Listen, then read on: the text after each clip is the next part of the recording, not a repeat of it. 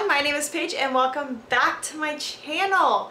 Uh, today we are going to be doing my August reading roundup and my September TBR. Uh, in August I read 11 books slash stories um, and I'm super excited to share with them. Most of them were phenomenal. I had a hard time ranking them. Um, if this is your first time here, I do rank my, them from my least favorite to my most favorite. I don't do starred reviews, but you can kind of get a feeling of how much I liked it or disliked it by the way I talk, and I will tell you blatantly if I liked it or didn't. Um, so, let's go ahead and get started. Coming in at number 11 in August was one of the first books I had read. I didn't have it on my TBR, um, but I've had it on my physical TBR for a while. So I thought I'd go ahead and pick it up. Um, and it is Witchling by Yasmine Galenorn. Um, I was severely disappointed by this. I thought it was going to be a little bit better than it was. Um, the writing was just kind of cheesy at some points, um, not the best. Um, and I really had to force myself to keep going through the only 276 pages of a mass market. So, like, I would not re personally recommend this to anybody. Um, if they get better, I know there's like 13 books in this series. Um, if they get better, I would be willing to give it a second chance. But if they all remain this quality, I will just not. Okay, so coming in at number 10 is a short story that I received in um, exchange for an honest review. Um, and it is called Taking the Fall by Daisy Landish. It's part of a short story series uh, called Mike and Maddie. Um, I wasn't lost. uh, in the description specifically said that they can be read in any order and I read through after I read it. I read through some of the reviews of like the first one and similar people kind of noted noted this as well where they the stories reference a lot of things that don't happen within what has been published and I kind of understand what she's trying to do. She's trying to build that external relationship, trying to ground these characters, making it so they have this relationship ahead of time. But it could have been done better. Um, another thing that I didn't absolutely enjoy about it um, was for a mystery, even a cozy mystery, it wasn't as complex as it could have been. Even with its short length, I think the author could have evolved a little bit more, expand, like talked about other suspects versus a lot of it was really focused on a a girl that the main character Mike had met when they found their body found the body. Um, I think a whole chapter was dedicated to that, and then she just kind of drops off the face of the earth. Um, and then also them just sitting around the detective going, oh, I can't really say anything but here, um, which was also a little weird. And yeah. So it's definitely a little bit better than the other one, but not by much. Um, I gave one of them not so good ratings on Goodreads and the other one only very slightly more. Um, so, yeah. So, coming in at number nine, and this gets into the books that I like actually enjoyed a little bit more. Like I said, I don't dislike a lot of books. Um, I may think some of them are very meh, and I will probably never read them again. Uh, but there are very few that I would actively go out of my way to never read again. And like I said, um, was definitely one of those. But the next one I have is Firelight by Sophie Jordan. If you liked uh, Talon by Julie Kay, who is the one who also wrote um, the Iron King series, I would highly recommend this. Um, it's very similar. It is a little bit dated, but it's it's still good. It's when YA was in the boom. Um, cell phones were still kind of like new and teens are having it. And I think one of the things that really redeemed this book in terms of how like old it is and because you have a lot of the times where in YA it when it was huge and big, I mean YA is still huge, it's a whole genre, but like when it was really growing at that exponential pace, um, in those books you have it very much where a lot of the times the parents will just disappear or they seem to a normal human um, a little bit neglectful or they are very oblivious. Um, that 100% wasn't happening in this and I really enjoyed that. Um, so the book is basically Jacinda, who is um, a Draki who is which is a dragon um, that can shapeshift descended from actual dragons.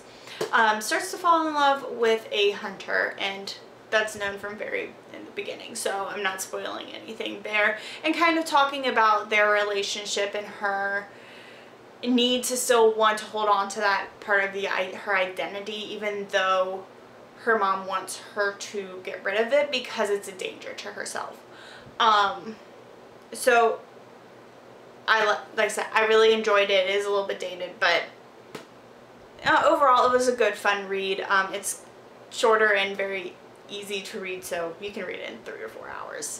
Okay, this is the point where it got really, really hard to rank them. Um, and this is part of the reason why I don't do the star system because I feel like it's so nuanced that even if I were to give everything four or five stars, which is usually the case, um, it still doesn't 100% give over my feelings to all of them.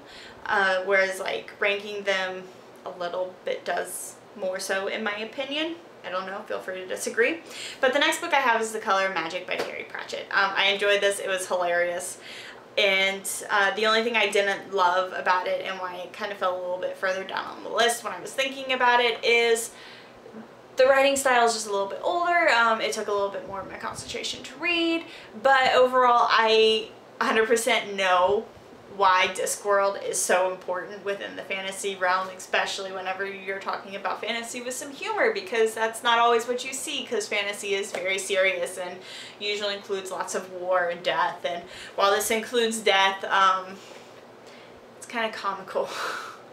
so, yeah, um, The Color of Magic, I would definitely recommend this. I will be looking for the other Discworld series um, to pick up probably over the course of years because there's quite a few of them. Number seven. Um, this is going to be New Spring by Robert Jordan. Uh, I picked this up because I was looking for a new fantasy that wasn't 30 some hours long to listen to uh, while I was waiting for some of my other holds to come in and this one was available and I really like one of the narrators. Her name is Kate Reading. Um, and so I picked it up and I was not disappointed.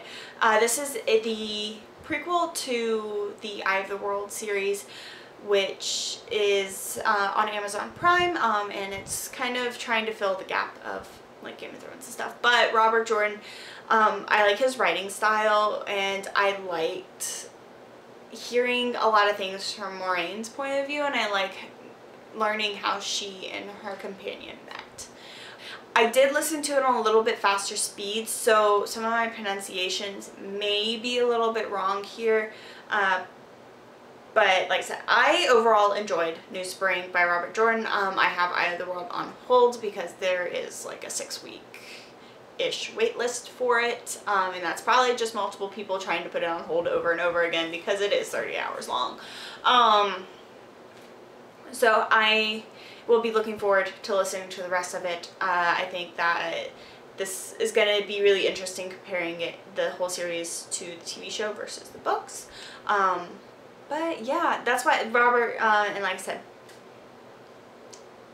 New Spring by Robert Jordan, like I said, it's number seven, so it kind of fell a little bit on the lower end, but still kind of in the middle. Okay, so here's the review for the book that I said I was going to read for months and finally did. Um, Ink Blood Sister Scribe by Emma Törzs. Uh, I really did enjoy this book. I love the ending. Um, it just kind of ends on that, oh, look at all these possibilities there are type of ending. Um, and I like the different points of view. Um, it didn't rank higher on this list because I think I've said this before in some of my previous videos and I think including in the 24 hour challenge video that I did was it took a little bit more of my concentration than I would have liked to have read it. Um, and that may have been where I was and if I read it again it may change. Um, I may have a different perspective on it but that the prolongedness of it of how long it took me to read it is kind of what pushed it down to number six versus going up to three or four. Number five is Brooding Over Bloody Revenge by Nikki Howard. I am actually not going to do a review of this right now because I am planning on doing a whole video review of this book. Um, I there's I have a lot of thoughts on it um, and I want to read some passages out of it that I think may be interesting and why books like this can be super helpful to writers. Um, so I will be posting that here in the next couple of weeks as soon as I can get that done. So number four is uh, an audiobook that I listened to. This is Glass Houses by Louise Penny. It's um, number 13 in the Inspector Gamache series. Um, this one is uh, about a a figure that appears in Three Pines and everybody kind of freaks out because it just stands there and watches people and then a couple days later somebody turns up dead um, and Inspector Gamache has to figure that out. But at the same time he's also dealing with another problem. I'm not going to go into that other problem because I don't want to spoil it for you if you have not read the series yet because I highly highly recommend reading it. Um, but I think why this is, I really, like I said, I really enjoyed this. I listened to it in like five or six days in like half the amount of time that I have it from the library. Um, and I think the reason why I didn't rank higher is because the opposite problem of that uh, short story I was had taking the fall, I felt like some points were a little too complex um, and other parts of it just got pushed to the wayside. But it wasn't a serious enough issue that I thought it needed to rank further down. Um, it's still a great story. Her writing is phenomenal and I always get lost. And the guy that reads it, Robert um, Bathurst, uh, yeah, yeah, Robert Bathurst. He he's plays dad on Downton Abbey, um, and listening to him is just so much fun. Um, even when it was there's a previous narrator, even listening to him they bring the writing to life. Um, and I've said it before and I'll say it again, the narration is really what's key in a lot of these audiobooks because you can have a phenomenal book with terrible narration and I will not listen more to it than an hour of it. So, um, like I said, Glass Houses by Louise Penny. Okay, three, we have Divine Rivals by Rebecca Ross. Um, this was the last book that I 100% finished during the 24-hour readathon and I really enjoyed this book. Um, I sat down and I started reading it and I barely got up after I started reading. Uh, which was kind of the point, but as you saw earlier that day, if you have not watched that video, I highly recommend going and watching it now. Um, earlier that day, I did a lot of errands, I went to the gym, and I listened to my audiobook while I did that. Um, but yeah, this one was really good. I was slightly disappointed, but I think what's coming is to make up for that. Um, and that's why I ranked it a little bit higher because the last like 15, 20 pages of it kind of made up for the fact that on here it says no God, no creature, no war can become can come between them. Um, and I thought it was going to be a lot more intense, but it looks like it's going that way, so that's why I kept it at number three. And coming in at number two is Kingdom of the Blind by Louise Penny. Uh, this is probably one of the better Inspector Gamache books that I have listened to recently. Um, before this, I think my favorite was the one where Jean-Guy was kind of dealing with his opioid problem and they were in that abbey uh-huh. kind of removed from society. I don't know why. I I think it was the whole medieval aspect um, that kind of drew me to it, but also I love a seclusion. um, but Kingdom of the Blind kind of deals with the fallout of everything that happened in the previous book um, while also trying to deal with another mystery. Uh, Armand gets a mysterious letter that draws him to a old house that's on the outskirts um, of Three Pines and he is a liquidator of someone's will. Why? No one knows. Um, so he sets out on this mystery to try to figure that out. So I, I'm liking the later series books a little bit better, but also like it's it's a catch 22. It's she's building in the complexity to kind of doing that like series set overarching themes.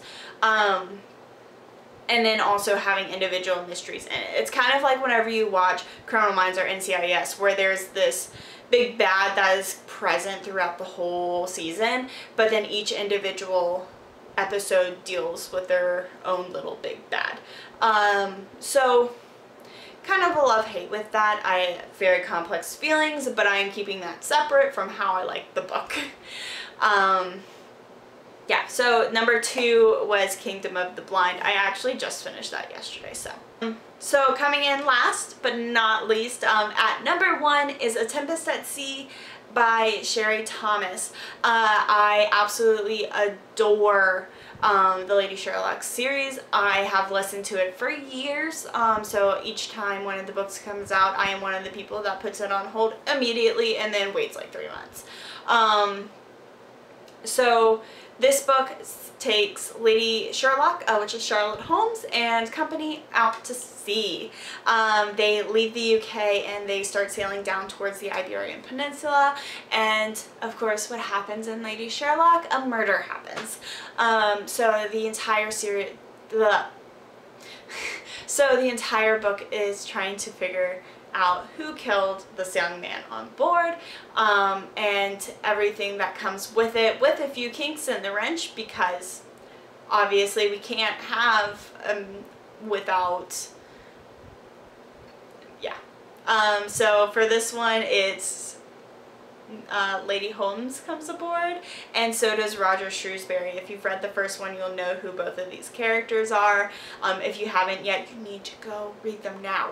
Um, these are fantastic books. This is the seventh book in the series, and I am excited because I think there's going to be number eight, and it definitely has that kind of slow burn romance type of thing going on uh, as one of the subplots. So it is fantastic. Um, my personal reading taste is unless I'm looking specifically for a romance book, I don't like romance being the main plot.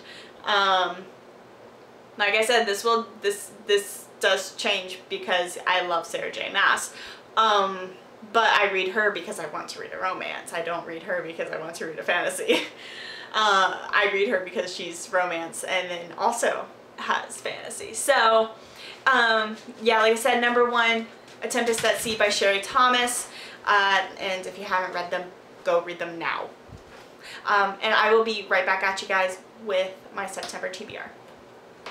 So now we're moving on to my September TBR. Um, I'm keeping it short and sweet uh, just because I am not sure how this month is going to go with the things I want to do. I'm going to try to kind of keep the pace I've been at so that, that way once classes start at the end of this month, um, I don't have to feel super stressed about trying to make sure I am keeping up with my reading. I have four books that I want to read this month and I'm just going to go over them very briefly um, and I'll read the back cover or part of the cover, whatever it is that I have if I don't know what it's about. So the first one is This Poison Heart. This one was a gift um, I think last year. I am very behind on my physical TBR so I am picking this one up. Um, and this is, uh, Briseis has a gift. A single touch, she can grow plants from tiny seeds to rich blooms. When her aunt dies and leaves her a dilapidated estate in rural New York, Bree and her parents hope that maybe, surrounded by plants and flowers, Bree will finally be able to learn to control her gift. But their new home is sinister in ways they never expected. It comes with a mysterious set of instructions and a wall garden filled with the world's most, le most lethal botanicals. There is more to Bree's sudden inheritance than she could ever imagine, and she's determined to uncover it. So this is by the same person who wrote um, Cinderella's Dead.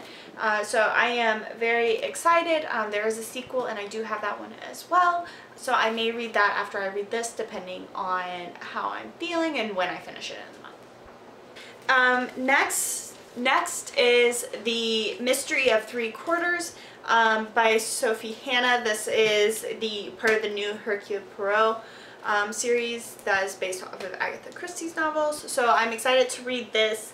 Um, I'm not entirely sure what it's about, but it's a mystery and it's a classic. So, um, well, the physical book isn't a classic, but the character is. The third book I want to read this month is The Bone Season by Shan Samantha Shannon. Um, this is her book that I, she wrote before the Priory of the Orange Tree, obviously because that one's still a new book.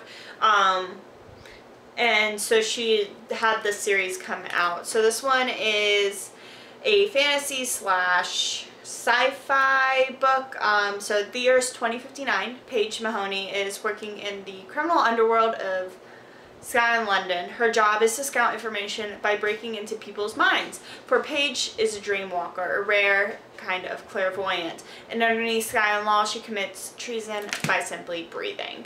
Um, I picked this up and I didn't even realize that this was the same author as The Priory Orange Tree, which I do currently also have checked out from the library. Um, I'm filming this on like the 29th, so it's going to be 50-50 on whether or not I can finish it before the end of the month. Uh, I don't think I will, so that one will probably be in September's reading wrap-up as well.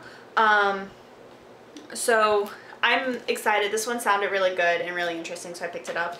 Um, and I do have to finish these prior to September 3rd. So we're going to try our best. So the last one is The London Seance Society by Sarah Penner. Um, I read her first book, which is right here, The Lost um, Apothecary, when it was in my book of the month. And this is her second book. Um, and so it's Amid the shrouded parlors of Victorian London, two daring women hunt for truth and justice and perilous art of conjuring the dead. Um, so it sounds interesting, sounds fun. I know people have read this and really enjoyed it, so um, I'm going to read it and I just saw it whenever I was at the library and I was like, yes, please. Um, so this will definitely, I'm going to try to finish this. Like I said, both of these are due on the 3rd, so we're going to try our best. So that's it for me today. Uh, if you like what you see, be sure to hit that like and subscribe button just down below and follow me on Instagram to get lots of pictures of my adorable dog, uh, who is sometimes very annoying, but I love her anyways. And um, I post reading, writing, and travel content. I will hopefully be having a travel vlog coming to you guys very shortly. Um, I haven't posted one yet because I have been very busy this summer with stuff at home. Um, but otherwise, thank you guys, and I'll see you very soon with a new video. Bye!